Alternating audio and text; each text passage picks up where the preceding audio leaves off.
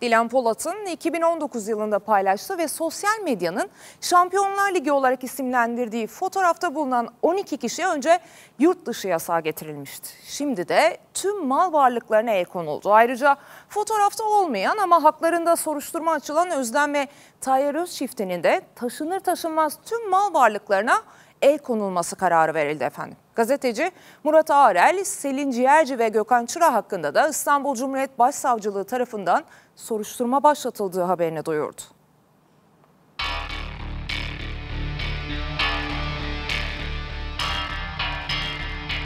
Eylül Öztürk'ten Feyzanur Başar'a, İlayda Topal'dan İlke Elagöz'e kadar Şampiyonlar Ligi fotoğrafındaki 12 fenomenin ve öz çiftinin tüm mal varlıklarına el konuldu.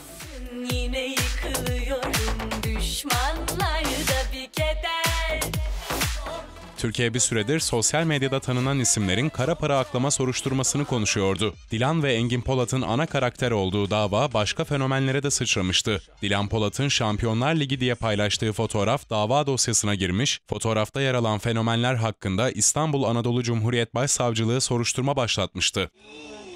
Alo Tayyar Bey. Ay bunlar ne böyle bayıldık biz.